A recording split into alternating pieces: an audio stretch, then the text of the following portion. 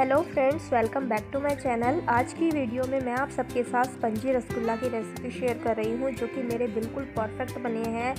और मैं बहुत बार बना चुकी हूँ, कुछ ना कुछ प्रॉब्लम हो जाती है, लेकिन इस बार मेरे बिल्कुल परफेक्ट बने हैं।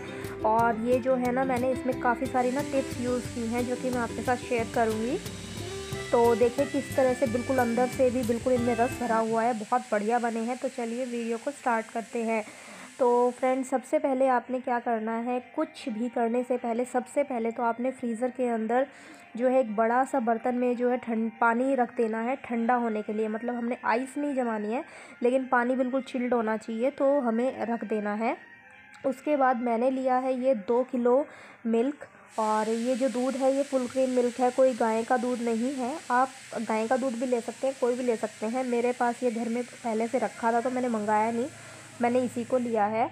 और दूध को जो है गैस पे रख देना है, चढ़ा देना है। और जब एक उबाल दूध में आ जाए, उबाल आने लगे तो दूध को गैस से नीचे उतार लेना है। और हाँ हम क्या गलती करते हैं? यहाँ पे फ्रेंड्स मैं फ़र्स्ट टिप दे रही हूँ, जो कि आप ध्यान से सुनिएगा। हम लोग क्या करते हैं ना, पनीर बनाते हैं दूध से तो हम गैस पे ही जब उबाल आ जाता है ना दूध के अंदर, तभी हम उसके अंदर नींबू डाल देते हैं। उससे जो हमारा पनीर है, वो हार्ड बनता है। तो ऐसा बिल्कुल नहीं करना है। आपने गैस से दूध को नीचे उतारना है और पहले जो है थोड़ी देर तक, कम से कम पाँच मिनट तक दूध को चम्मच से हिला करके उसको थोड़ा सा टेम्परेचर उसका एक लेवल नीचे ले आना है और बस पाँच मिनट आपको ये करना है। उसके बाद आपको जो है एक नींबू का रस लेना है। एक ही नींबू का रस काफ़ी है और उसको ना डाइल्यूट करना है पानी के साथ। डायरेक्ट नींबू का रस नहीं डालना है, नहीं तो वो कम रह जाएगा और आपका दूध फटेगा नहीं। तो उसको पानी के साथ डाइल्यूट करके और थोड़ा थोड़ा दूध के अंदर इस तरीके से चमचे में दूध ले लेके डालते जाना है और घुमाते जाना है। तो धीरे धीरे जो है आपका जो दूध है वो इस स्टेज पे आ जाएगा। ये देखिए किस तरीके से बिल्कुल जब आपको लगे कि दूध इस तरीके से अलग हो गया है और एक ग्रीन कलर का पानी जो है वो अलग से साइड में रह गया है। तो यानी कि आपका जो पनीर है वो बिल्कुल परफेक्ट बन चुका है। अब इस स्टेज पे आके आपने सेकंड काम करना है, जो कि सेकंड टिप है। वो ये है कि आपने यहाँ पे आपने एक बड़ा बर्तन लेना है, उसके ऊपर छलनी रख के, एक साफ़ कपड़ा रख के, वहाँ पे आपने पनीर को इस तरीके से छान लेना है। अब हम क्या करेंगे, जो हमने फ्रीज़र के अंदर ठंडा पानी रखा था उससे हम इस पनीर को वॉश करेंगे। ना कि हम नॉर्मल वाटर से करेंगे, किसी वाटर से नहीं करेंगे, बल्कि जो फ्रीज़र में पानी हमने रखा था, उससे हम यहाँ पे इस पनीर को वॉश करेंगे और दो बार वॉश करेंगे। पानी कम पड़ जाए तो आप इसी के अंदर और थोड़ा सा नॉर्मल वाटर मिला लीजिए ताकि थोड़ा ठंडा पानी हो जाए।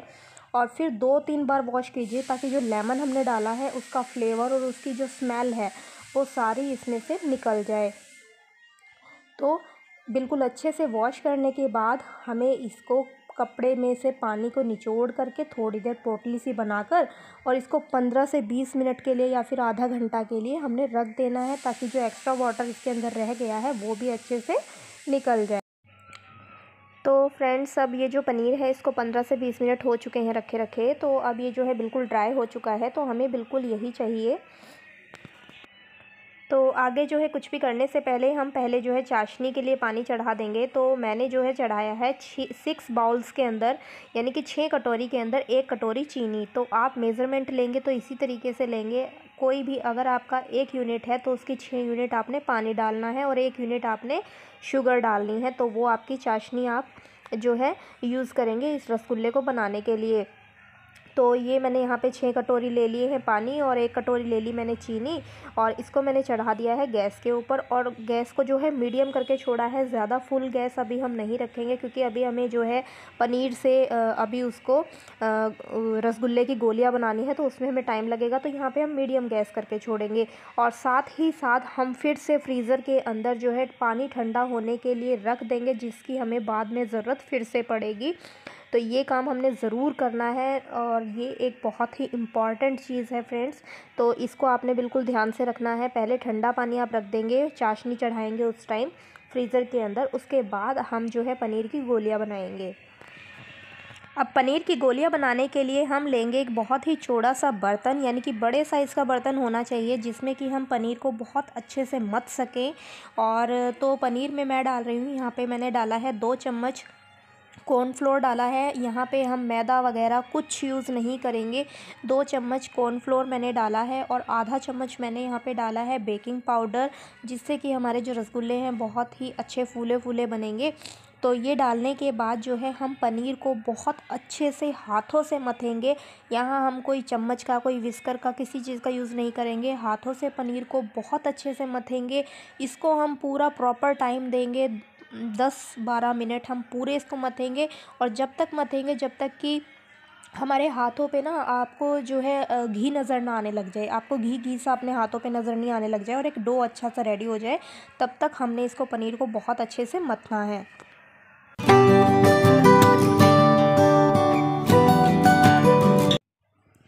पूरा मथने के बाद आप जो है एक गोली बना के देख लीजिए। अगर वो फट रही है तो यानी कि हमें पनीर को और मथने की ज़रूरत है। अगर गोली जो है बिल्कुल परफेक्ट, बिल्कुल अच्छी बनी है, जुड़ी हुई है, टूट नहीं रही है तो यानी कि हमारा जो पनीर है वो अच्छे से मथ चुका है।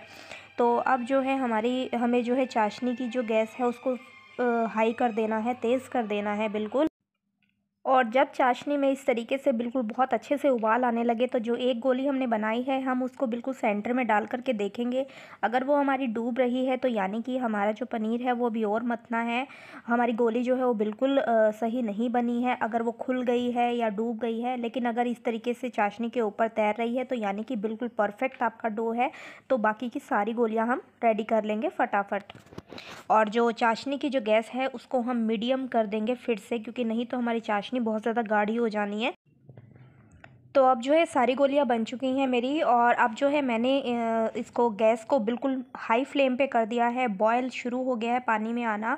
तो जब बॉयल आने लगे तभी हमें एक एक करके इस तरीके से सारी गोलियों को डालना है धीरे धीरे करके। हमें बहुत जल्दबाजी नहीं करनी और बिल्कुल सेंटर में डालना है और बॉयल कंटिन्यू आते रहना चाहिए। अगर बॉयल आना कम हो गया है तो आप कुछ सेकेंड के लिए रुक जाइए।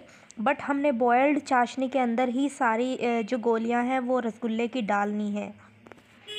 ये फ्रेंड्स हमने बिल्कुल ध्यान रखना है। अगर जो है चाशनी हमारी ठंडी पड़ गई और हम गोलियाँ डालते गए तो हमारे सारे रसगुल्ले ख़राब हो जाएँगे, फूलेंगे नहीं बिल्कुल भी।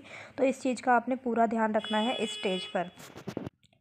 दो तीन मिनट बाद जब आपको लगे कि हल्के हल्के रसगुल्ले जो हैं वो फूल गए हैं तो आपने बिल्कुल धीरे धीरे चम्मच इन पर टच नहीं करनी है। आपने ऊपर की तरफ़ चाशनी जो है रसगुल्लों के ऊपर डालनी है, ताकि जो हिस्सा यहाँ पे नहीं फूला है रसगुल्ले का, वो उस पर चाशनी जाए और वो रस, हिस्सा भी रसगुल्ले का अच्छे से फूल जाए। तो इसका आपने ध्यान रखना है और ये काम आपने बहुत धीरे धीरे करना है। और ऐसा करने के बाद आपने फ्रेंड्स, इनको आपने पूरे पाँच से छः मिनट इनको खुला पकाना है और बिल्कुल तेज़ गैस पे पकाना है। हाई फ्लेम रखनी है और पाँच से सात मिनट बिल्कुल टाइम प्रॉपर देख के इनको पकाना है। उसके बाद फ्रेंड्स, उतना ही टाइम आपने, यानी कि पाँच से सात मिनट आपने इनको ढक्कन से ढक के कवर करके इनको पकाना है। ढक्कन हटाने के बाद जो है आप इनको हल्का हल्का कोनों पे से थोड़ा सा हिला दीजिए ताकि अगर ये कहीं से नहीं पके हैं तो अच्छे से पक जाएँ। और ढक्कन हटाने के बाद दो दो मिनट ही पकाना है बस ताकि चाशनी थोड़ी और गाढ़ी हो जाए और इसी के साथ फ्रेंड्स आपने क्या करना है? एक बड़े बर्तन में ना साइड में जो पानी हमने फ्रीज़र में चिल्ड होने के लिए रखा था, उसको लेना है। और गैस बिल्कुल ऐसे ही तेज़ रहेगी रसगुल्ले वाली और उसमें से एक एक रसगुल्ला निकाल कर आपको इस ठंडे पानी के अंदर डालना है।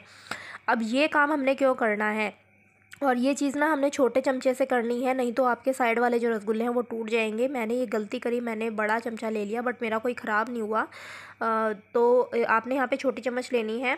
और ये वाला स्टेप फॉलो करने से क्या होगा कि जो हमारे रसगुल्लों का जो साइज़ अभी बनकर तैयार हुआ है, ये बिल्कुल ऐसे के ऐसे रहेगा, हमारे रसगुल्ले सिकुड़ेंगे नहीं, छोटे नहीं होंगे।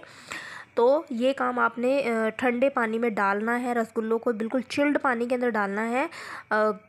जब आप इसके अंदर रसगुल्ले डालेंगे ना तो ये थोड़ा सा जो पानी है ये गर्म हो जाएगा क्योंकि रसगुल्ले गर्म है। तो इसको आपने फिर फ्रीज़ के अंदर रखना है बिल्कुल आ, कम से कम दो या तीन घंटे के लिए फ्रिज को हाई टेम्परेचर करके ठंडे पे करके इसको दो से तीन घंटे फ्रिज के अंदर रखना है। आपके रसगुल्ले जो हैं बिल्कुल वही साइज़ रहेंगे और बिल्कुल बढ़िया हो जाएँगे।